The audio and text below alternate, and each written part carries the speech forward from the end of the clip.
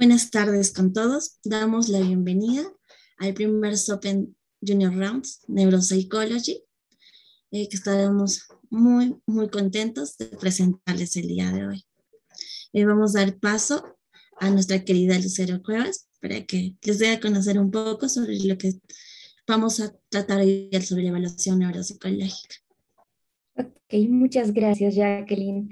Bueno, hoy día vamos a iniciar con el Junior Rounds Neuropsychology, pues esta actividad nace del interés de nosotros, de la Sociedad Peruana de Estudiantes de Neurocirugía y Neurociencias, pues por aprender mucho más, por comprender tanto los fundamentos neuropsicológicos, la aplicación de instrumentos, los casos clínicos, las estrategias de diagnóstico, eh, la rehabilitación, los métodos de tratamiento, acerca de los trastornos neurológicos, síndromes o lesiones cerebrales. Eh, debido también a la gran necesidad, al gran impacto que eh, está ocurriendo en este instante, ¿no? Eh, gracias al desarrollo científico actual. Es importante acá mencionar nuestros objetivos como parte de, de este Open Junior Rounds, que es capacitar a los estudiantes de psicología con contenido neuropsicológico, de manera que nosotros pues podamos eh, producir ese interés en los estudiantes, generar gran impacto para que todos podamos aprender. Gracias, Lucerito. Bueno, vamos a presentar a nuestro querido doctor, mentor y asesor, a nuestro eh, doctor Juan Pablo Pérez Pereira. Nosotros estamos muy felices y contentos de tenerlos con nosotros. Él es médico y magíster en neuropsicología, eh, este, dentro médico de la Fundación de la Universidad San Martín de Sabanera y además es docente de la Universidad eh, CS. Entonces estamos muy contentos de tenerlo esta tarde con nosotros. Además también vamos a presentar a nuestros eh, miembros de las SOPEN. Disculpen por tener está súper lento. Eh, que es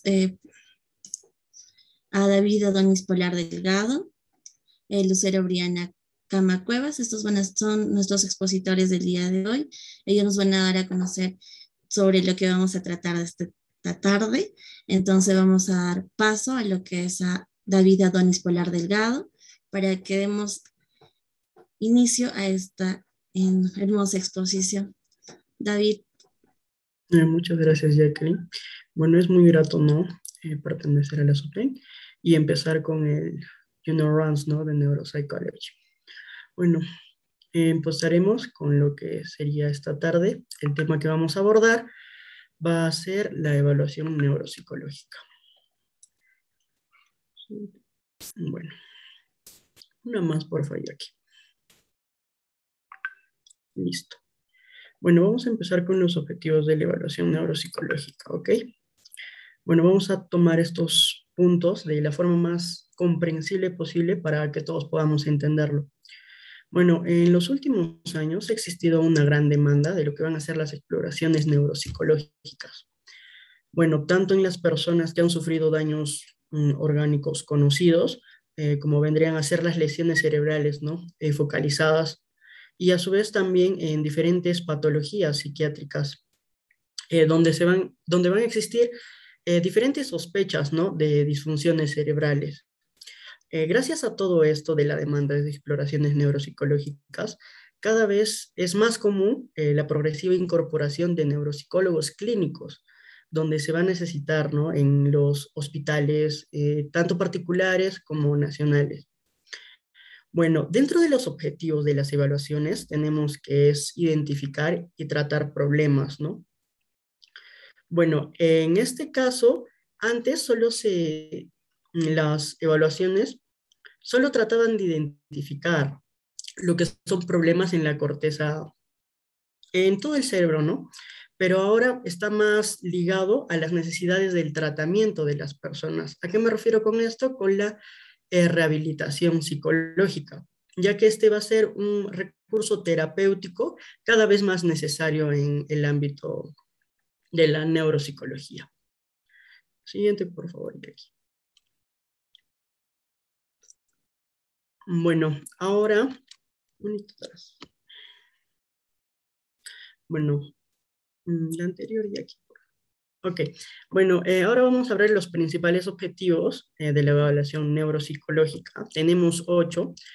Eh, esto nos los va a plantear Muñoz, Céspedes y Tirapú en el 2001. Ok, empezaremos con la descripción detallada. Mm, la descripción detallada de las lesiones, ¿no? de las disfunciones cerebrales en el funcionamiento cognitivo, en los trastornos de conducta y en las alteraciones emocionales, ¿no? las la evaluación psicológica nos va a ayudar a dar una descripción detallada de esto.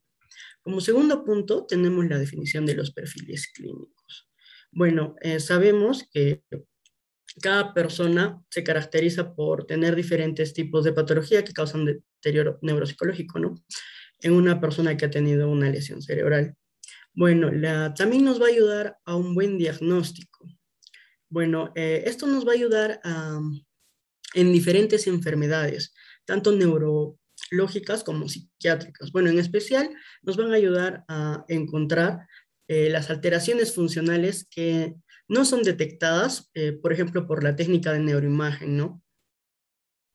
Eh, las cuales se van a encontrar en las etapas de proceso, ¿no? De la enfermedad como cuarto, tenemos el establecimiento de programas de rehabilitación. Bueno, mm, esto nos va a ayudar a tener en cuenta tanto las limitaciones como las habilidades conservadas ¿no? de la persona.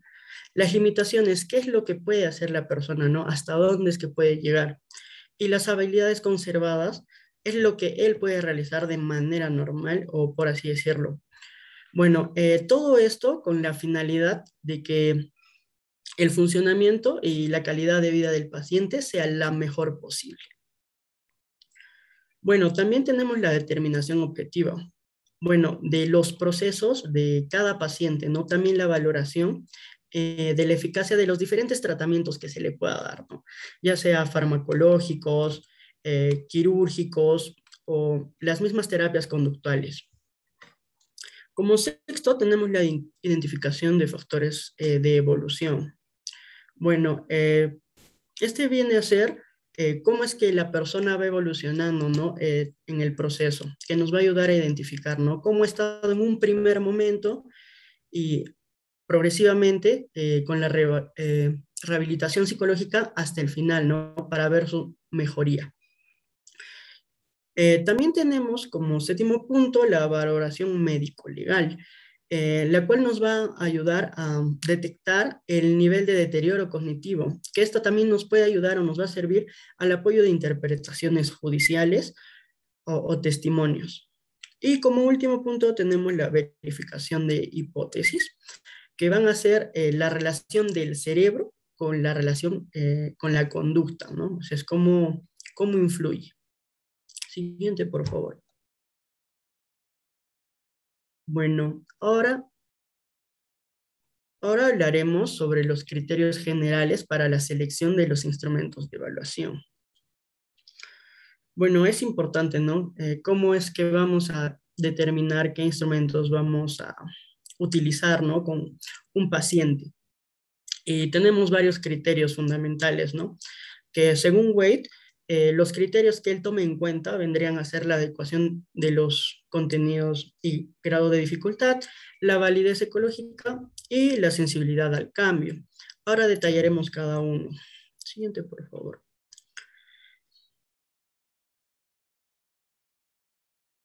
Bueno, empezaremos con la adecuación de los contenidos y el grado de dificultad. Bueno, mm, los criterios fundamentales que han de tenerse en cuenta es eh, saber, ¿no? ¿Cuál vamos a elegir? Pero al momento de realizar una evaluación neuropsicológica, eh, se va a tratar con personas, ¿no? Con el paciente. Eh, estos van a conservar distintas Mm, distintas habilidades, ¿no? Porque cada persona es distinta, ¿no? Ya sea en el, por ejemplo, en este caso vendría a ser el nivel de deterioro cognitivo, las características personales de la persona o la topografía de las lesiones cerebrales que vaya a tener el paciente. Bueno, entonces gracias a todo esto de que cada paciente, por así decirlo, es único, no, esto nos va a impedir hablar de un protocolo rígido de evaluación, ¿no? Y también el hecho de tener unas pruebas de antemano para poder evaluar a la persona. Entonces, no podemos generalizar porque cada caso siempre va a ser particular, ¿no? Eh, siguiente, por favor. Bueno, ahora hablando sobre la validez ecológica, ¿no?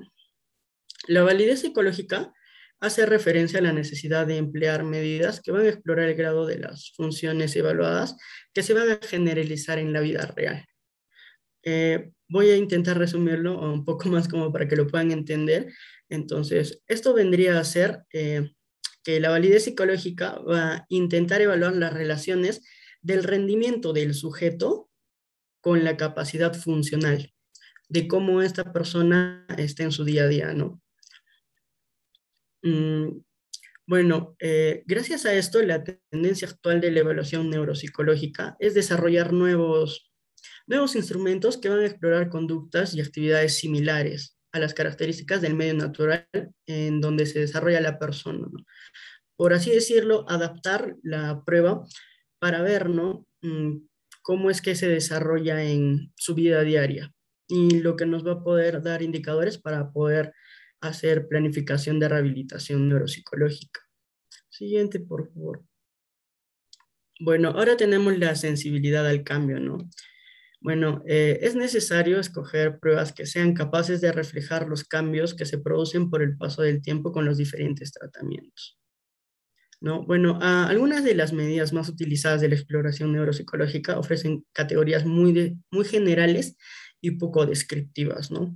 Entonces tenemos que al momento de tratar a un paciente, eh, buscar una prueba o, tener en cuenta de que no tiene que ser muy general, ¿no? Tiene que ser específica para poder tener un mejor diagnóstico y posteriormente una buena rehabilitación neuropsicológica. Mm, y siguiente, por favor. Bueno, ahora tenemos unas preguntas generales. Bueno, ahora se preguntarán eh, ¿Cuáles son, no? ¿O por qué puse estas preguntas? Bueno, estas se van a basar en la utilidad y en la para la implementación y la valoración de los programas de rehabilitación, ¿no? O sea, para escoger una buena, para tener una buena evaluación neuropsicológica tenemos que tener en cuenta, o bueno, al menos preguntarnos, ¿no? Si son adecuados los contenidos planteados y su nivel de dificultad, si ofrecen información sobre los mecanismos cognitivos alterados subyacentes, o sea, lo que vamos a manifestar, el paciente lo que va a manifestar, eh, ¿cuál es la validez ecológica de esa prueba, ¿no? De la prueba que vamos, si es que lo que esa prueba nos, bueno, intenta medir, lo traslada al modus vivendus o a la realidad de la persona, ¿no? De cómo vive. Y bueno, la cuarta sería hasta qué punto estas pruebas son sensibles a los cambios en situación clínica experimentados por los pacientes. Siguiente, por favor. Ahora le daría paso a Lucero para que continúe. Muchas gracias, David. Bueno, ahora vamos a hablar acerca del proceso de evaluación neuropsicológica. ¿Cómo se da? ¿Cuál es el proceso de esta evaluación? Que es muy importante. Pues primero vamos a iniciar con la observación. La observación, como bien sabemos, es la herramienta principal tanto de un psicólogo, de un neuropsicólogo. Entonces, eh, esta es la herramienta principal porque nos acerca más a la comprensión de lo que está ocurriendo, cómo es que vemos al paciente desde que llega a consulta. Eh, por otro lado, también continúa la entrevista. En la entrevista es muy importante porque acabamos a recabar toda la información que nosotros necesitemos acerca del paciente.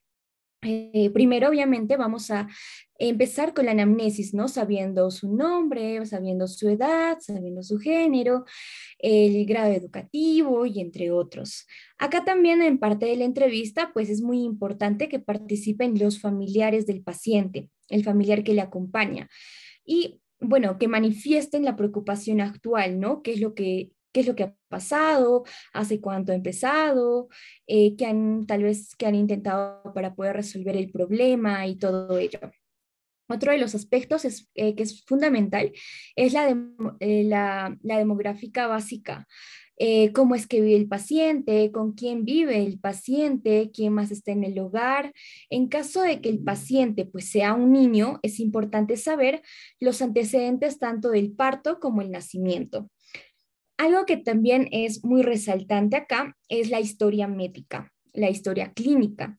Acá es muy importante saber si es que el paciente ya ha visitado a otro experto, cuáles han sido los resultados, si es que ha tenido eh, alguna lesión craneoencefálica, alguna enfermedad, eh, ya sea crónica o algún trastorno. Gracias a, eh, gracias a todos, gracias a todo en, toda esta entrevista, es que se va a poder hacer, se va a poder decidir qué prueba va a utilizar o qué prueba se va a requerir para hacer un adecuado eh, tratamiento, una adecuada rehabilitación.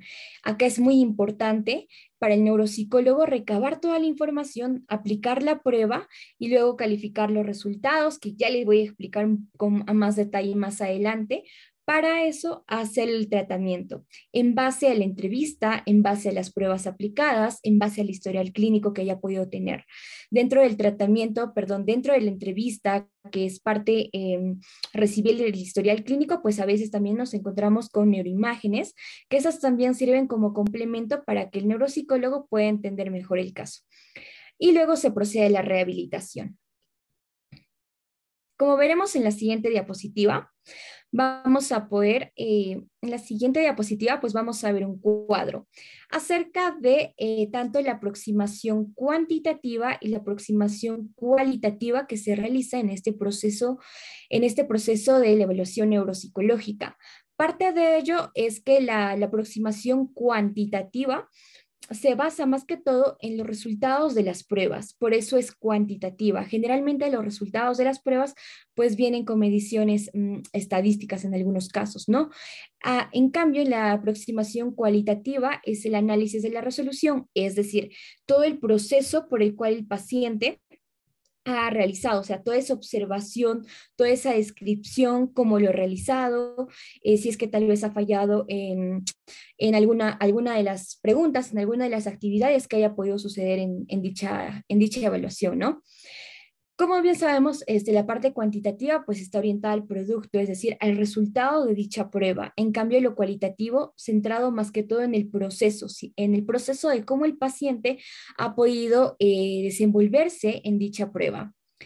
En la parte cuantitativa, pues se basa en normas. Eh, cuando bien sabemos que para realizar una prueba, para calificar, toda prueba va a contener, va a contener ciertos estándares, ciertos ciertas normas, ciertos criterios para su calificación.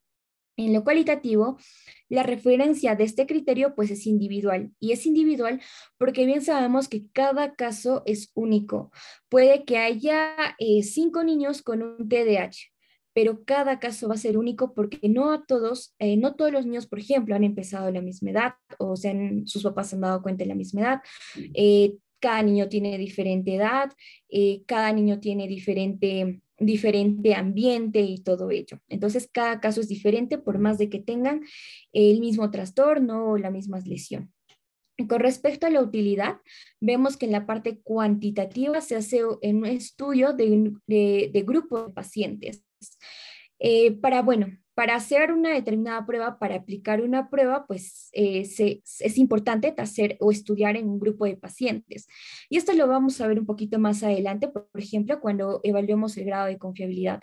Porque pues en la parte eh, confiabilidad nos va a dar ese índice de qué tan eficaz es dicha prueba, porque antes de que una prueba pues pase la parte de confiabilidad, pues tiene que aplicarse a un cierto grupo de población.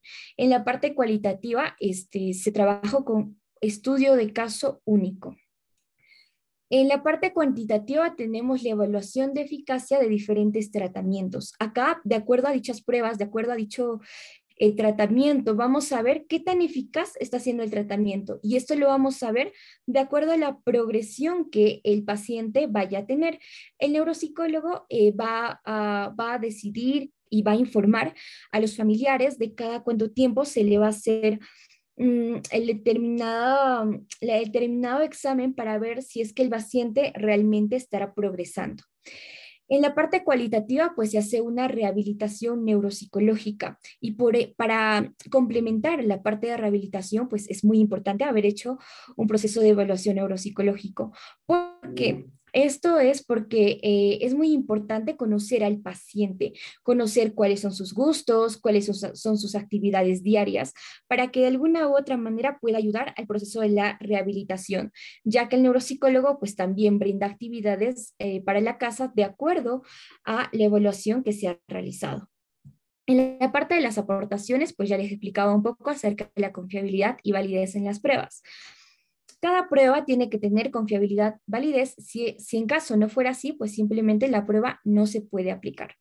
La validez, como ya les hablaba, la confiabilidad y la validez es, es que una prueba mida lo que pretende medir. Es decir, si es que hay una prueba para evaluar mm, la memoria, pues tiene las, los ítems, eh, las actividades, pues tienen que ir netamente a evaluar la memoria. No puede irse a evaluar la atención o a evaluar algún otro proceso de, de cognición, ¿no?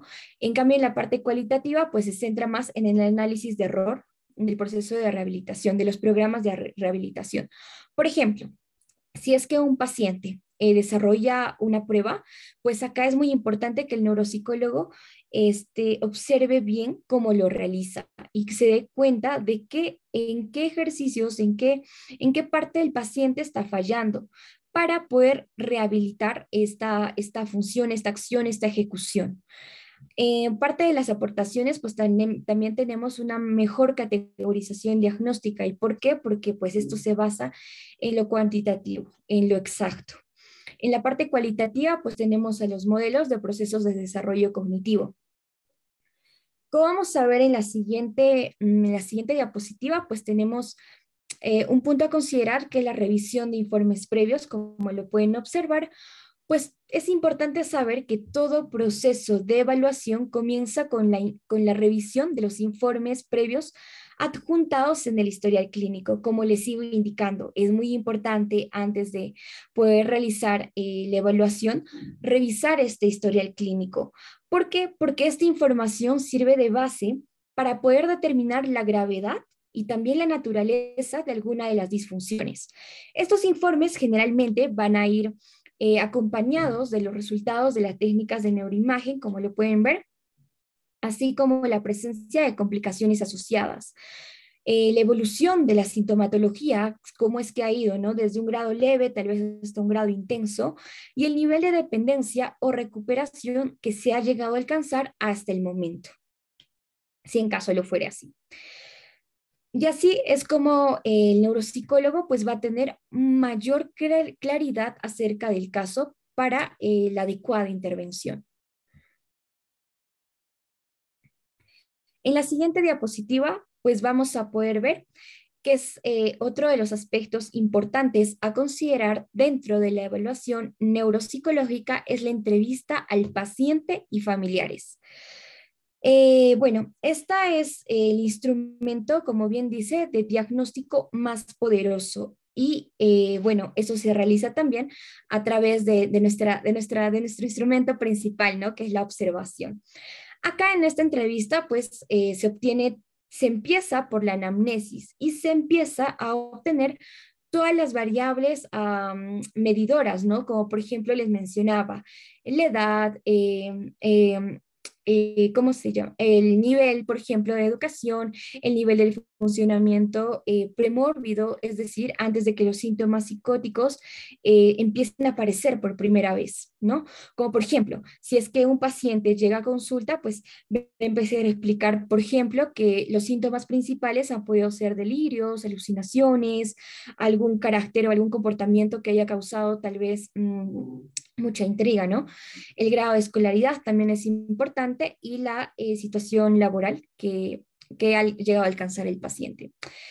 Eh, sin un adecuado mm, conocimiento del valor de estas variables medidoras, como ya les mencionaba, que es la anamnesis, eh, resultará casi mm, imposible, por así decir, interpretar los resultados. De, la evaluación neuropsicológica, porque esto es una parte fundamental. Es fundamental conocer bien al paciente, es fundamental saber cómo es que ha sucedido, y cómo es que han empezado los síntomas. Asimismo, eh, también debemos tener en cuenta que se debe obtener información sobre los patrones de conducta y personalidad para poder descartar alguna existencia tal vez de inadaptación social. Por ejemplo, ¿no? Por ejemplo, se podría dar un abuso de sustancias tóxicas, algún déficit, por ejemplo, ¿no? de control de impulsos, escasas habilidades sociales. Esto de manera que pueda contribuir a explicar los problemas emocionales actuales. Eh, bueno, finalmente se da pues recabar acerca de las consecuencias psicosociales que está ocasionando el trastorno en control. Otro de los aspectos, pues, pues poder ser mm, conveniente, pues entrevistar, es muy conveniente entrevistar tanto al paciente individualmente como a los familiares. ¿Por qué? Porque este, a veces suele pasar que la información que te da el paciente, pues es muy diferente a la información que te da el familiar. Por ejemplo, es bien conocido que las personas con traumatismos cranoencefálicos, que son graves, tienden a sobreestimar mucho eh, su nivel de competencia cognitiva y conductual, mientras que Suele suceder lo contrario después de un daño cerebral leve. Por esto es, por este motivo es que las entrevistas deben ser, eh, deben, deben permitir, por un lado, obtener información lo más completa posible acerca del estado del paciente, cómo es que se encuentra, eh, cuáles son los síntomas que está experimentando actualmente. Pero también es muy importante poder eh, contrastar todo ello con otras fuentes, que en este caso vendría a ser los familiares. ¿Por qué? Porque acá vamos a eh, ver con más claridad cómo es que ha empezado, cómo es que los familiares han podido notar ese cambio en, su, familiar o en dicho paciente. Y esto también es importante conocer cuál es el grado de conciencia que el paciente tiene acerca de la disfunción, del daño cerebral, eh, que causa en algunos casos propias eh, limitaciones en la vida cotidiana. Ahora les voy a explicar en la siguiente diapositiva como van a poder observar las técnicas de neuroimagen. Acá pueden observar, bueno, las técnicas de neuroimagen es el estudio del sistema nervioso central y los procesos cognitivos que se acompañan de un conjunto de técnicas de exploración complementaria. Acá es muy importante tener en cuenta pues el análisis de parámetros neuroquímicos. Este análisis pues ayuda a poder cuantificar el nivel eh, de un determinado neurotransmisor, de tal manera que ayuda a comprender ciertos trastornos de comportamiento y así proporcionar información para poder decidir el tratamiento, el tratamiento terapéutico. De hecho, el informe de los datos numéricos eh, de las concentraciones de los neurotransmisores aporta una serie también de consejos eh, nutricionales. Acá tenemos como otra como, otra, como otro aspecto, pues el registro de eh, los registros electrofisiológicos. Esta nos muestra la actividad eléctrica del cerebro. Este registro se logra medir mediante la colocación de electrodos sobre el cuero cabelludo. Lo pueden observar bien en la imagen. En la primera imagen que está al lado derecho, como lo pueden observar, eh, nos muestra la actividad eléctrica. Y en la segunda imagen, pues nos muestra eh, cómo es la colocación de los electrodos al cuero cabelludo. Esta es una herramienta que se utiliza principalmente pues para poder eh, estudiar cierto tipo de padecimientos neurológicos, lo que ayudará pues a encontrar un mejor diagnóstico evidentemente y a conocer la fisiología de los tejidos, las conexiones sinápticas, y así se puede identificar también la plasticidad neural eh, los diversos tipos de alteraciones del sistema nervioso, como la epilepsia, tal vez el síndrome de Down, demencias, Alzheimer, eh, lesiones, etc. También tenemos las técnicas de neuroimagen específicas. Eh, estas son imágenes, como su nombre mismo lo indica, son imágenes cerebrales eh, donde, eh, bueno, estas imágenes eh, se utilizan para poder conocer la estructura o la función. Ayudan más que todo a detectar, a poder localizar y a poder dar un, un respectivo seguimiento acerca de las lesiones que puedan ocurrir en el cerebro y también, también bueno, explicar las alteraciones neuropsicológicas que pueda presentar cada persona.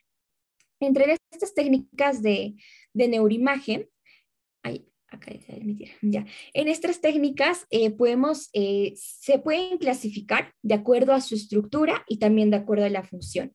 Como vamos a ver en la siguiente diapositiva, donde acá se hace un estudio de la anatomía y la estructura cerebral. La siguiente diapositiva, por favor.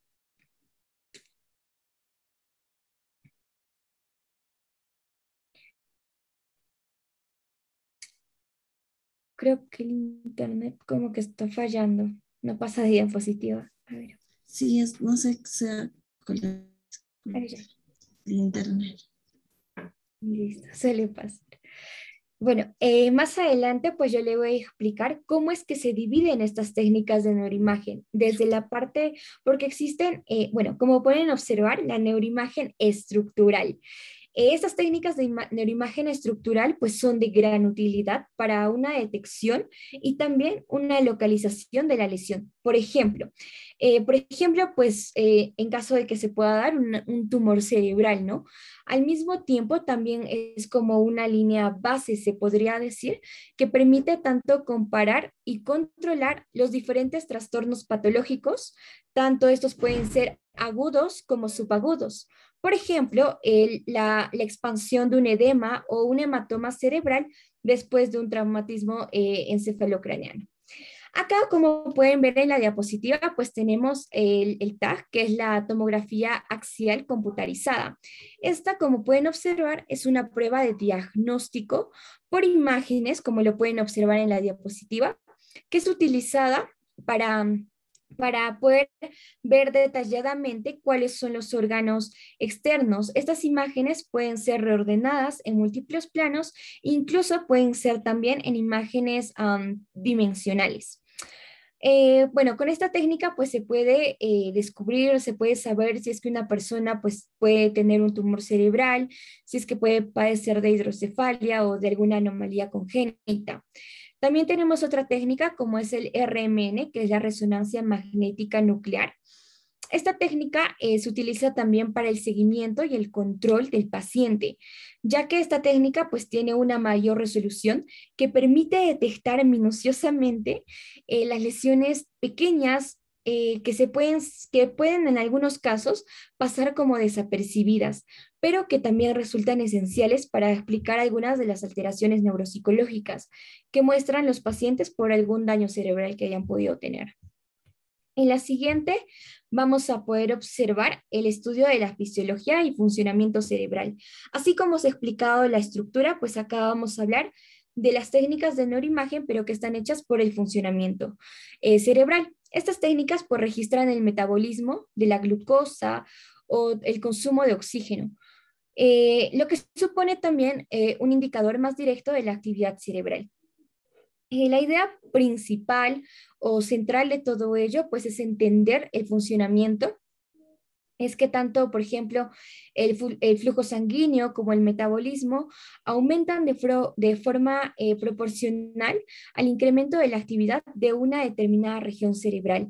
Por lo tanto, la presencia de anomalías o tal vez déficit de estos parámetros sugieren la existencia eh, de áreas de disfunción cerebral, por lo que gracias a estas tres técnicas es que se puede detectar ello. Podemos observar la primera técnica, que es el PET, que es la tomografía por emisión eh, de, de, de, positrones.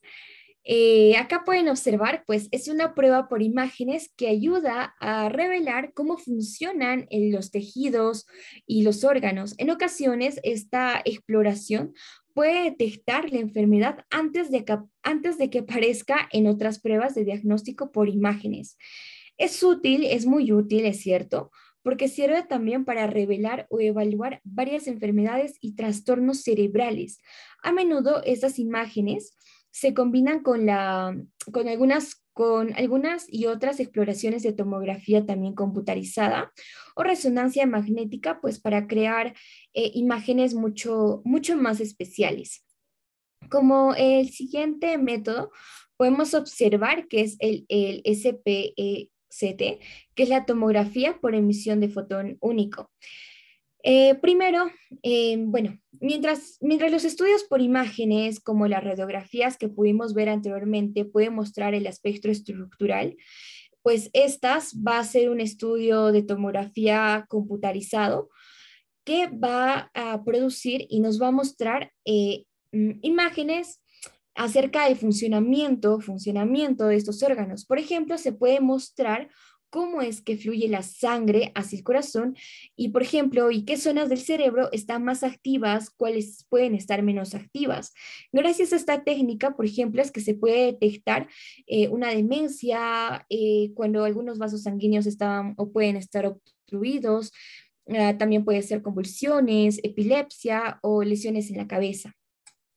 Como tercera técnica, como pueden observar, tenemos el RMNF. Esta es la resonancia magnética eh, nuclear funcional. Y es muy interesante, pues porque mide los pequeños cambios en el flujo sanguíneo que ocurren con la actividad del cerebro. Esta técnica pues puede detectar aquellas anormalidades dentro del cerebro que no se pueden encontrar con otras técnicas eh, por imágenes. Por eso es que esta técnica es muy especial también. Por ejemplo, eh, se puede hacer al evaluar los efectos de un derrame u otras enfermedades y así guiar eh, el respectivo tratamiento cerebral. Eh, bueno, la aparición de estas nuevas mm, técnicas, ajá, acá es muy importante centrarnos en que la aparición de estas nuevas técnicas están desplazando la preferencia de un método clásico de la neurología conductual eh, bueno, y acá nos tenemos la pregunta, ¿por qué estas técnicas son tan requeridas? ¿Por qué? Porque en el ámbito, eh, bueno, porque es importante en el ámbito de la investigación básica. Son muy requeridas porque nos van a dar eh, un complemento, un resultado mucho más preciso acerca de lo que está pasando en el cerebro del paciente ya que permite determinar con más precisión las estructuras cerebrales y las redes neurales que están siendo afectadas, ya sea la atención, ya sea el lenguaje, ¿no? Acá vamos a ver qué regiones están siendo afectadas y desde la parte eh, funcional vamos a ver el por qué. Por ejemplo, ¿no? Si es que acá vemos una alteración en el área de Wernicke, por ejemplo, vamos a poder contrastar con la evaluación que se le, que se le haya realizado al paciente, con, con, el resultado de la prueba que haya podido eh, realizar el paciente. Por ejemplo, ¿no? si se haya en esta neuroimagen una alteración en el área de Wernicke, pues en la evaluación, en las pruebas, vamos a poder encontrar algún tipo de alteración, eh, por ejemplo, en la comprensión de lo que se le está diciendo al paciente.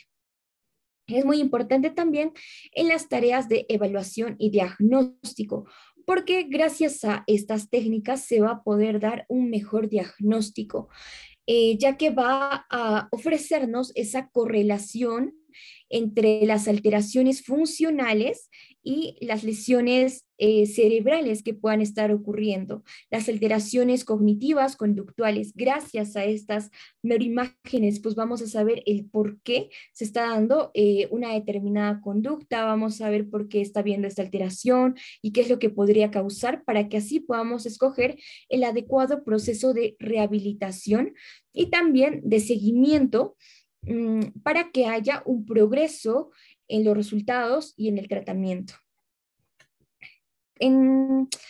como siguiente aspecto, pues vamos a evaluar y pueden ver en la siguiente diapositiva eh, la evaluación psicológica neuropsicológica formal.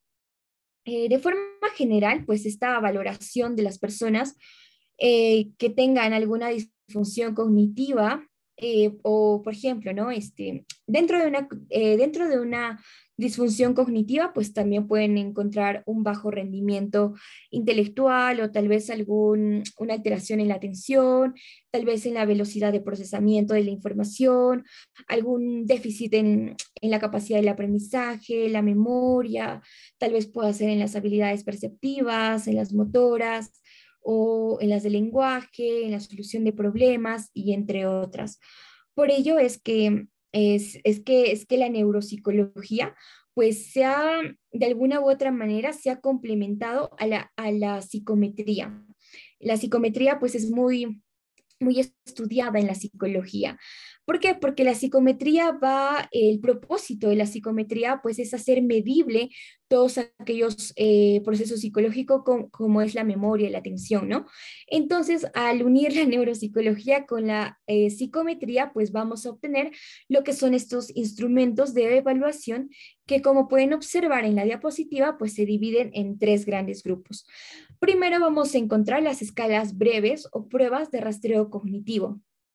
Estos test son test que son de fácil aplicación y que requieren poco tiempo para su aplicación, pues esta más o menos puede durar entre unos 5 o 20 minutos. Por eso son que son, se dicen que son pruebas mm, rápidas. Estas, eh, pues, eh, constan en sí de preguntas que son variadas en relación a cierto número de áreas cognitivas. Por ejemplo, puede ser de orientación espacial, de atención, concentración, aprendizaje, eh, tal vez habilidades eh, visoespaciales, entre otras. Eh, por lo tanto, pues sus principales utilidades se limitan a proporcionar una visión rápida del paciente, por ejemplo, en un contexto de una consulta neurológica o, por ejemplo, en una consulta psiquiátrica también.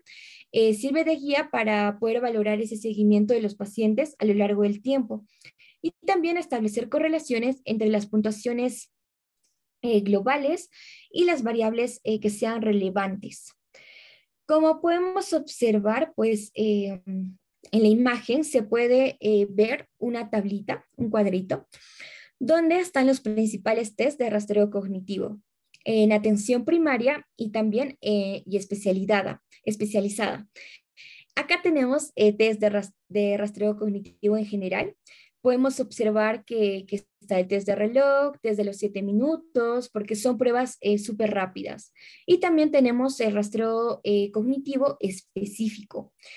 Eh, bueno, acá se puede, como pueden ver, es un test de alteración, por ejemplo, de la memoria, test de las fotos, el, el Eurotest. Estos tests, pues generalmente van a ser aplicados en la primera sesión porque son test rápidos. O también puede ser para hacer, hacer el exhaustivo seguimiento de cómo es que está avanzando. Mm, como segundo grupo tenemos a, a las baterías generales de la evaluación. Estas baterías, pues como eh, son, como su nombre mismo lo indica, ¿no? Son baterías. Es un conjunto de pruebas y la función de estas pruebas, pues es explorar eh, las principales funciones cognitivas de forma eh, ordenada, de forma sistemática, con el objetivo de poder detectar y tal vez de alguna u otra manera tipificar la existencia de algún daño cerebral. Eh, bueno, las principales eh, ventajas que puede tener estas baterías neuropsicológicas, pues es estudiar los principales síndromes, las alteraciones neuropsicológicas en un tiempo relativamente breve. Al realizar una evaluación global del funcionamiento eh, cognitivo que permiten evaluar no solo, no solo los principales déficits, sino también las habilidades que están preservadas en el paciente.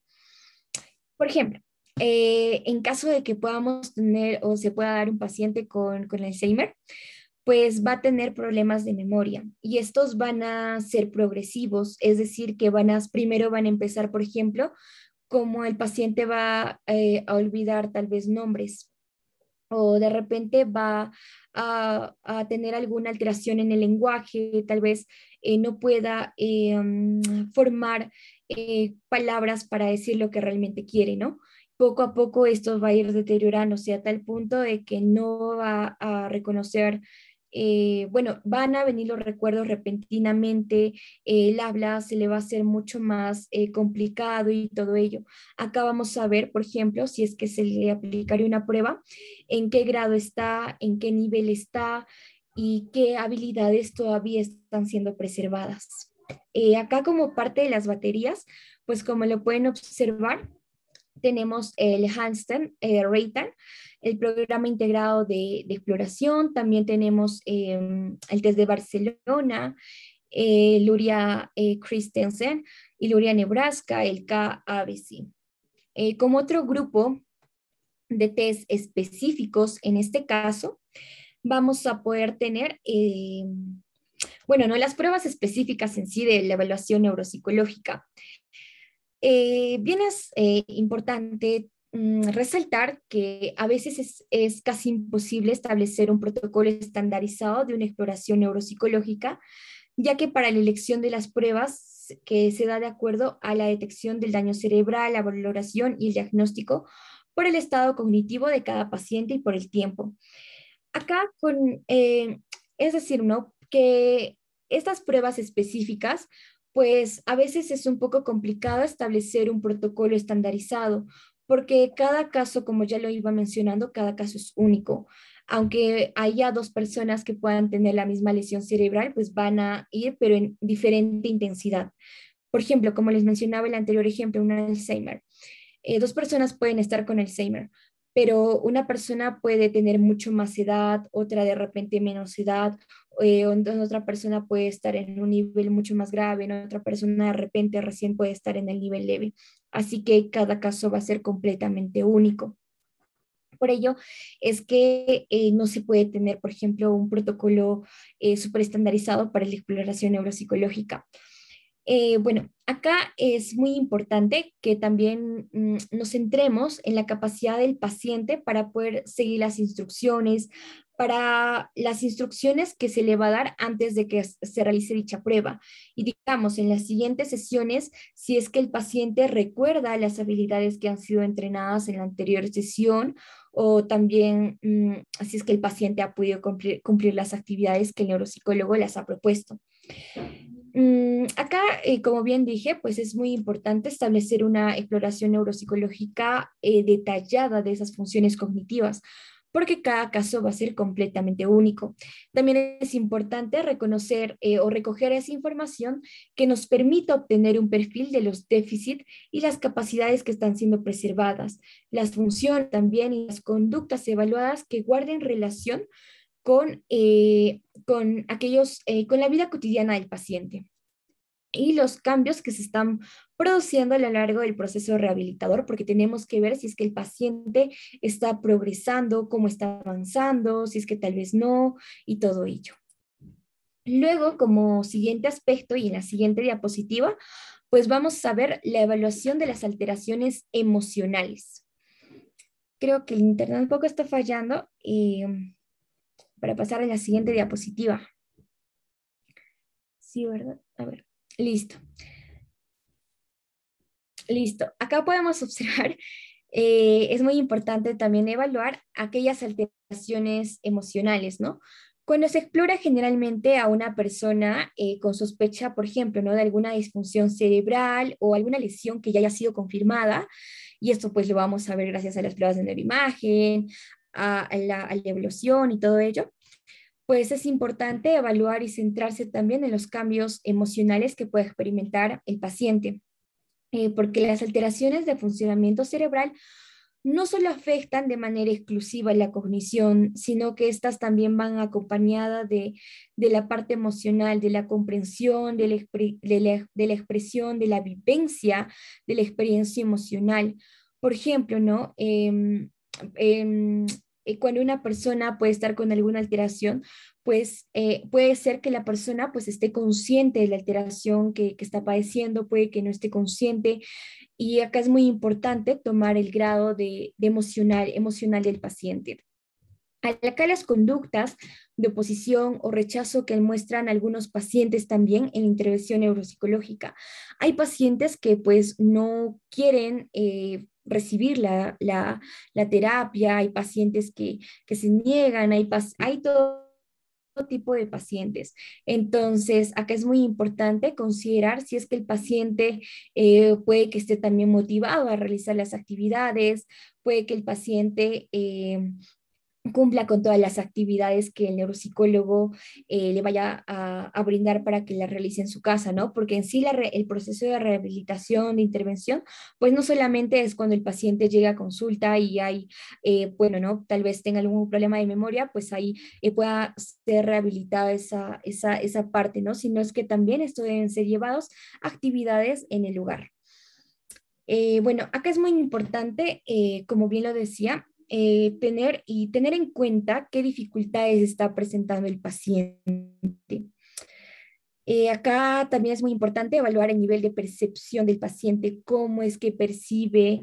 Eh, por ejemplo, ¿no? Eh, cuando bien lo mencionaba en el ejemplo de Alzheimer, es importante que los, los parientes también de la persona, de, ya sea su, del paciente, pues tengan en cuenta que, por ejemplo, tengan en cuenta de lo que está atravesando su familiar, que, por ejemplo, lo, incluyen en las conversaciones, que si es que el paciente pues pregunta una y otra vez sobre lo mismo, que los familiares también puedan tener esa tolerancia para poder responderle una y otra vez, porque ellos también pues se sienten mal si es que no, y la parte emocional va muy ligada a cómo va a ser el progreso de esta rehabilitación. Eh, como siguiente aspecto fundamental a considerar, pues es una mirada hacia la parte funcional, como pueden observar en la siguiente diapositiva. Eh, bueno, junto a a esta identificación de los principales déficits cognitivos, eh, resulta esencial pues esa, esa valoración del impacto, del impacto que estos problemas generen en, los aspectos funcionales de la vida. Bien sabemos que una alteración eh, cerebral va a alterar la vida cotidiana del paciente, pues la persona, esto va a afectar tanto en su vida mm, profesional, en su vida eh, familiar. Por, por, eso es muy importante que eh, la intervención de estas pruebas eh, sean específicamente estudiadas para los procesos cognitivos, para las situaciones de la vida diaria.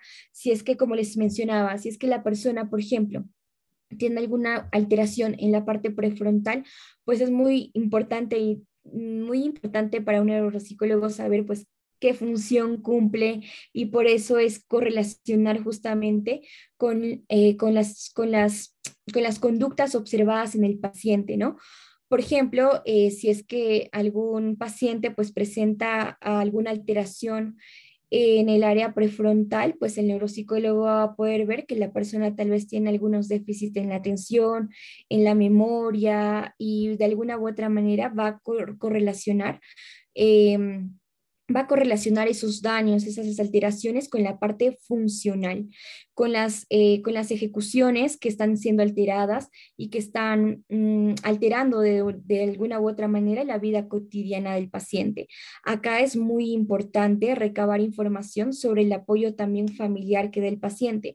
Muchas de las veces la rehabilitación, aparte de ir al paciente, pues también tiene que ir el tratamiento, perdón, eh, tiene que ir con, una, con un acompañamiento psicológico para aquella persona que lo cuida por los familiares, porque parte de los familiares es también eh, tener entendido de lo que está padeciendo eh, su familiar y de cómo es que pueden ellos controlar la situación.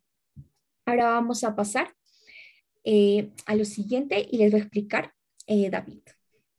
Bueno, retomando, Ahora vamos a hablar sobre la evaluación de los resultados de los programas de rehabilitación. ¿no?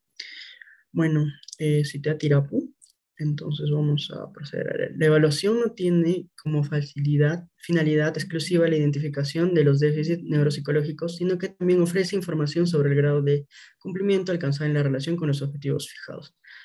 Bueno, ¿qué podemos interpretar por lo que nos cuenta Tirapo? ¿no? Es de que eh, más esto, la evaluación se va a enfocar en lo que va a ser la rehabilitación, ¿no? además de la identificación, teniendo en cuenta también todo lo que nos ha mencionado Lucero y a lo largo de, eh, de la exposición, de la ponencia, hemos estado recalcando es que cada paciente va a tener un caso particular y único. Entonces, a lo que me lleva que también la rehabilitación neuropsicológica, eh, demostrar la eficacia de la intervención es más compleja que en otras áreas. Que es más, más difícil, ¿no? Porque este es un proceso bien largo, ¿no? Teniendo eh, un pre y un post, ¿no? O sea, cómo es que viene el paciente y cómo es que va a tener el progreso dentro de la rehabilitación para mejorar su calidad de vida.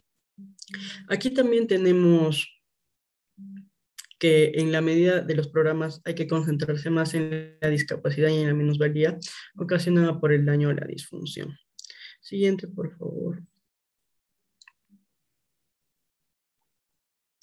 Bueno, eh, teniendo en cuenta también que casi en los últimos 10 años, de acuerdo con los conceptos de discapacidad y minusvalía recogidos por la OMS, se han desarrollado diferentes medidas en protocolos de evaluación. Bueno, ¿qué es lo que nos dice la OMS sobre el concepto de discapacidad y el concepto de minusvalía? Bueno, la discapacidad vendría a ser aquella restricción o impedimentos de la capacidad eh, o de la actividad de la forma dentro del margen que se considera normal en el ser humano, ¿no?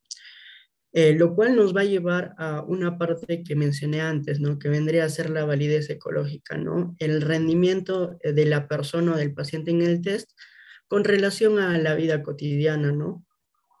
Bueno, eh, se han desarrollado distintos test o que los voy a mencionar, que vendría a ser la medida de evaluación funcional, el cuestionario de integración comunitaria, la escala de necesidad de supervisión e informe de evaluación de la discapacidad. Bueno, eh, en la esquina inferior derecha podrán ver, y ese es el, el test de medida de evaluación funcional, ¿no? que tiene una escala de siete puntos, eh, donde también podemos observar que hay una etapa inicial, los objetivos y la revisión. Bueno, la etapa inicial vendría a ser el, el pretest, ¿no? O sea, lo que, cómo es que viene el paciente, ¿no? Evaluándolo. Los objetivos, viéndolo, viendo las características que tiene el paciente, vamos a plantearnos objetivos en un cierto tiempo. Y posteriormente los volveremos a revisar para ver si es que la rehabilitación neuropsicológica está siendo la mejor posible para darle una mejor calidad de vida a la persona. Entonces creo que con esto concluiríamos lo que es el primer Union Rounds. Y ahí tenemos la bibliografía que hemos podido utilizar para hacer esta ponencia.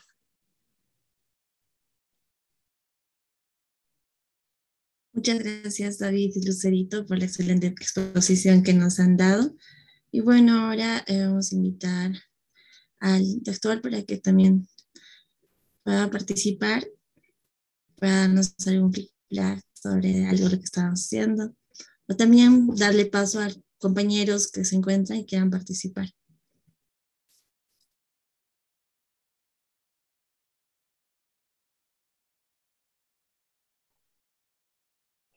Creo que...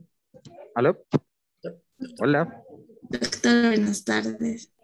Doctor. Hola, entonces primero quería eh, felicitarlos, muy buena revisión de, muy buena revisión del tema, muy ordenada. Eh, la verdad es que abarcaron muchos de los componentes de la, de la evaluación neuropsicológica y eh, pues el enfoque está muy bien hecho. Entonces, sí, reconocerles pues el, el trabajo y el, y el abordaje que hicieron.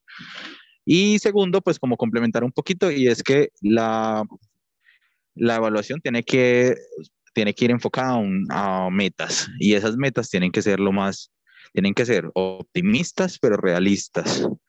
A veces caemos en el error de, de prometerle a un paciente, pues ve que va a retornar a su completa normalidad.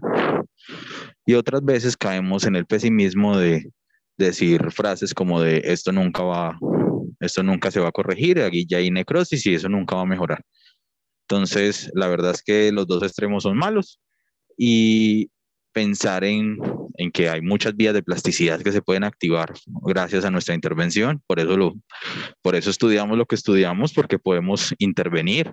Hay mucho que hacer, pero también ser realistas y entender que, que la mejoría va a ser lenta, progresiva y que probablemente no lleguemos a un 100%. Entonces es, es, eso, es como, como ese punto medio, tener metas objetivas, metas claras, metas eh, plausibles y ponerle un tiempo también a esas metas de tal forma que podamos brindar algún, pues como algún tipo de orden y decir, esta primera meta es lograr, es lograr este objetivo. Y las metas deben ir ubicadas más en funcionalidad que en otras cosas, ¿cierto? También un segundito que me está fallando aquí el micrófono, ya, ya vengo. Sí, doctor, muchas gracias.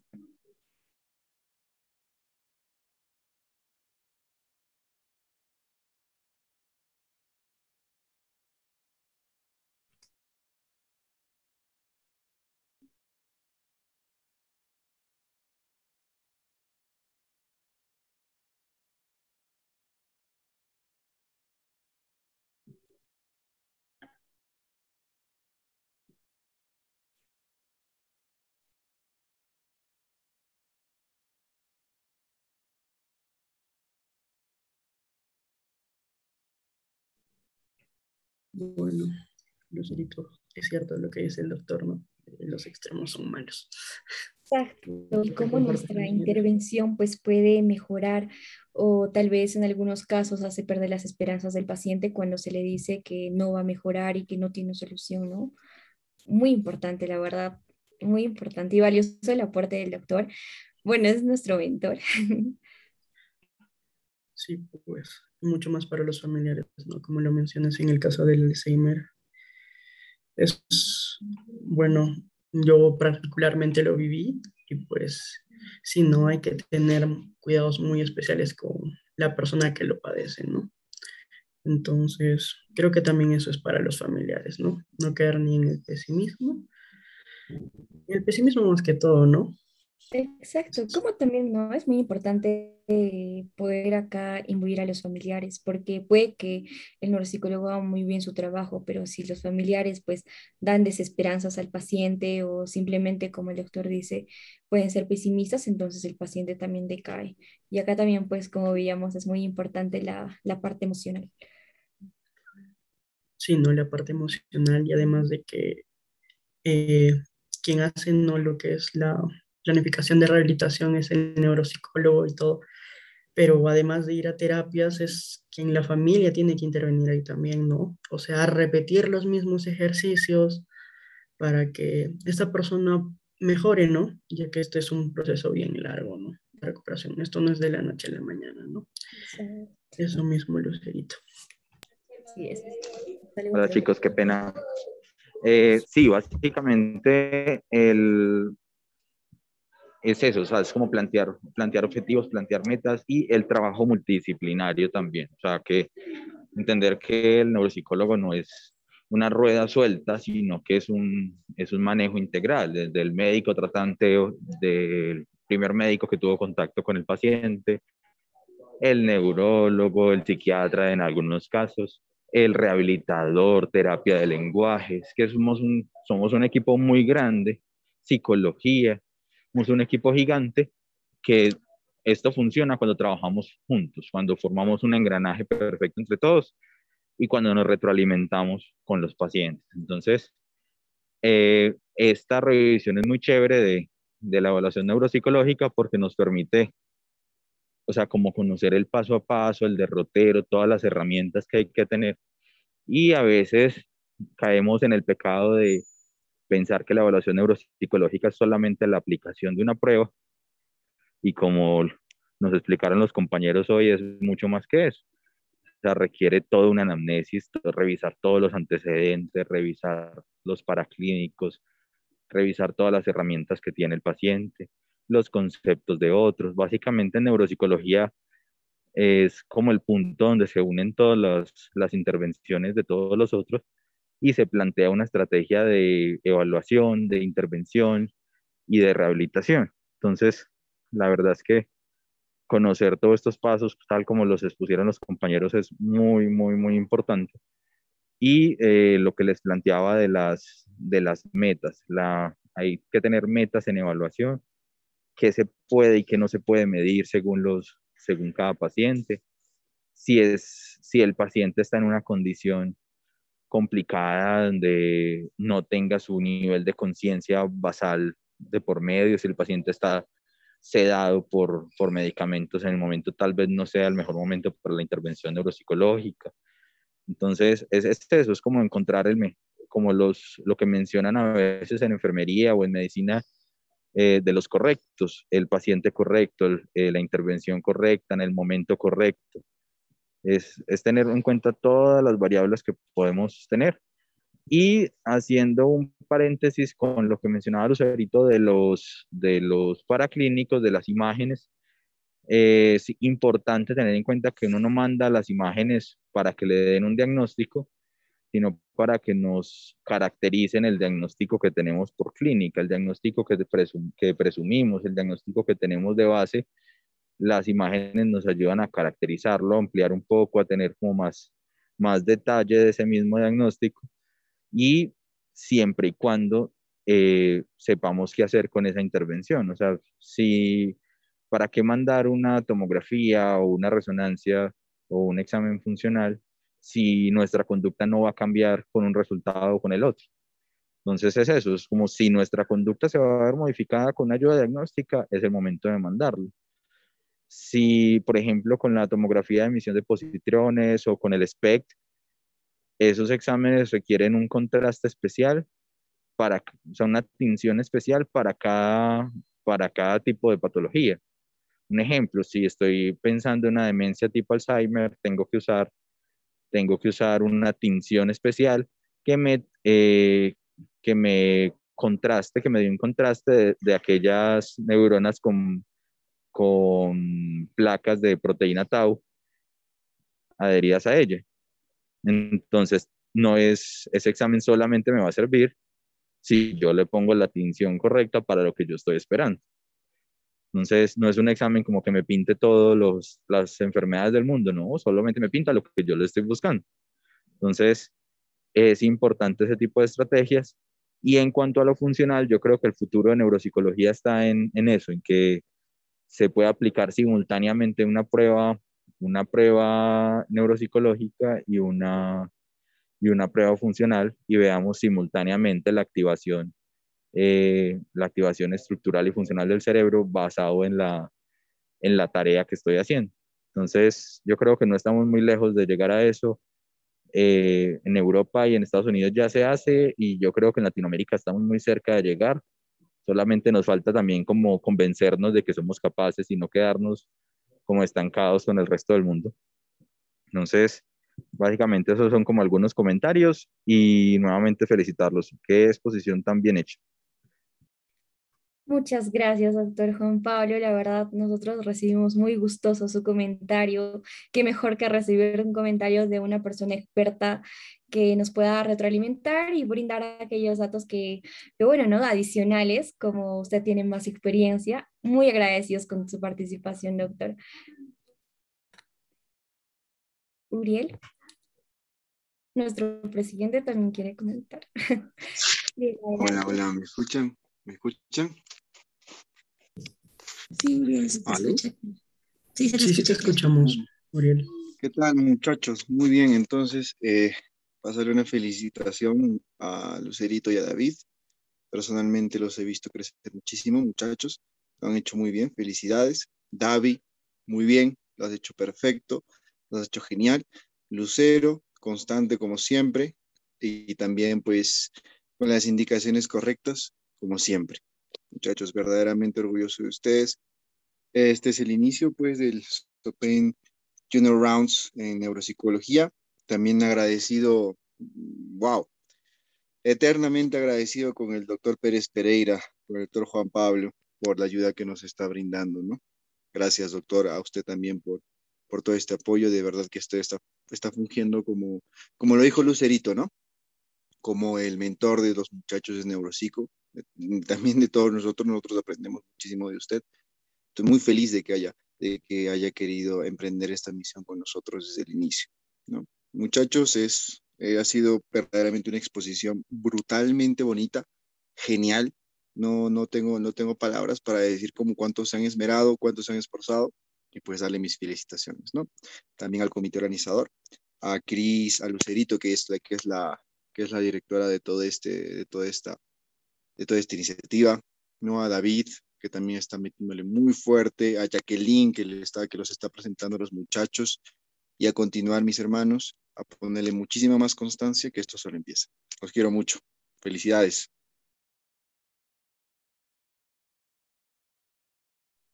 Muchas gracias, Uriel. Como siempre, dándonos, ánimos para seguir adelante. Y gracias, doctor Juan Pablo, como lo menciona Uriel, porque para nosotros es nuestro mentor, eh, como, como cuando eres niño, ¿no? Alguien con el que te puedes sostener y para poder seguir avanzando. Muchas gracias, doctor, por eso. Y definitivamente no estoy de acuerdo con Uriel, que lo que dice que felicitaciones a Lucerito, a David por una excelente exposición que han tenido, dando puntos claves que nos han podido ilustrar de buena manera todo lo que es la evaluación, ¿no? Eh, muchas gracias, Lucerito, muchas gracias, David. Gracias a usted, Jacqueline. Gracias, doctor, por brindarnos su predisposición, su tiempo y por enseñarnos mucho más. La verdad es usted como, como un motor que nos impulsa a poder involucrarnos más en la neuropsicología. Muchas gracias también a Uriel. Gracias a los participantes también, a, los, a las personas que pues, nos ven por YouTube y muchas gracias a todos. A ustedes, chicos, yo ya juego de local, yo ya soy un sopen más. Muy agradecido, doctor. Con la camiseta, doctor, con la camiseta. Definitivamente.